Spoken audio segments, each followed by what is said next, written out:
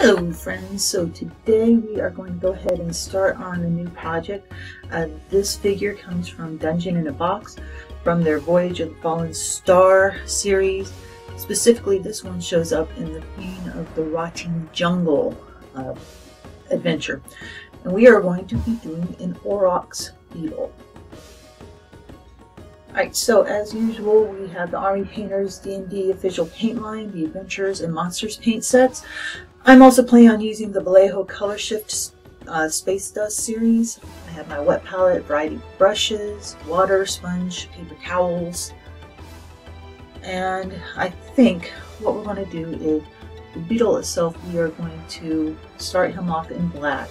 And then on his belly and uh, along the edges, we'll use a frost blue and a ghostly blue leading into a fire newt orange, angelic yellow, and rust monster. Um, we'll use the orange violet shifter on his back, and then grunge green, green flame. We'll use the green blue violet color shift, um, and the, the grunge on his head and his belly. Um, this he, he is large enough to ride on, and so he's got a um, little uh, some sort of a little cloth decoration on him. I think we'll do candy and crimson, so that really pop, will pop. Uh, for the weapons that he's carrying and for some of the highlights, we'll use mithril silver and the dwarven bronze. For the baskets um, that are carrying the spears, we have Otyugh brown, minotaur hide, and owlbear brown uh, for various depths of color for that. And as always, we've got the lawful light and dungeon stone and if necessary, we'll toss on a little bit of shadow wash.